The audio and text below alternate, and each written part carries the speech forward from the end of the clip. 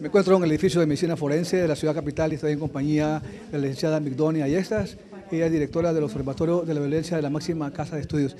¿Qué eh, comentario le merece esta inauguración, licenciada Ayestas, de este diplomado virtual en investigación científica?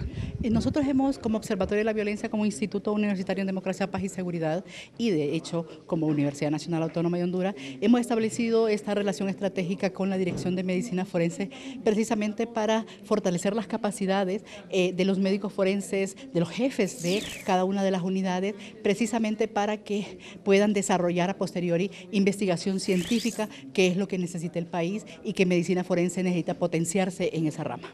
¿De qué manera fortalece esa investigación? El país habló de homicidios, de crímenes y toda esta violencia que el país eh, se ha abatido. El contar con referentes eh, de investigación científica que prueben los hechos y que evidencien una situación eh, permite al Estado, a las organizaciones no gubernamentales, al mismo, a los mismos organismos internacionales decidir y definir las líneas de, de, de trabajo, de inversión para que se mejore la situación existente en el país. Obviamente pues, también se combate la impunidad en el país, Iglesia. Precisamente por eso es que queremos que eh, eh, desarrollar esa línea con eh, medicina forense, porque lo que queremos es que haya mejor y más investigación, más calidad, mejores autopsias y todo lo demás, precisamente para que se disminuya la impunidad en el país. Lo importante es que la academia se sume a esta lucha.